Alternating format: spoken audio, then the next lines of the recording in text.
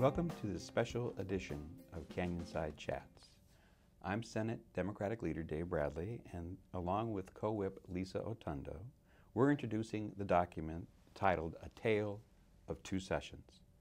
This is a comprehensive overview of this past year's legislative session and explains what transpired and contrasts that with what could have happened had the Democrats been in charge.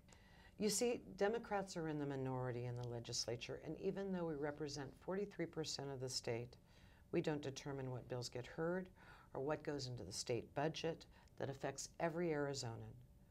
While a small few of our ideas got through to become law this year, the vast majority were denied a hearing simply because they were sponsored by a Democrat. And right now, we're preparing for the next session, which begins in January, the second Monday of January.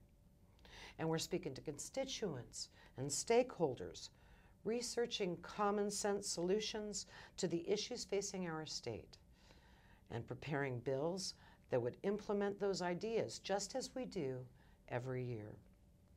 As part of that, we've prepared this the Tale of Two Sessions, to share with you our vision for a state that embraces the idea of giving every Arizonan an opportunity to achieve their dreams.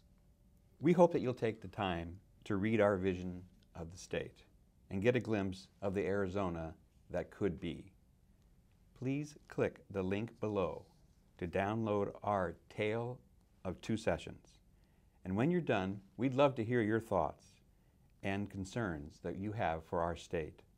After all, we're here to serve you, the people of Arizona. Thank you very much.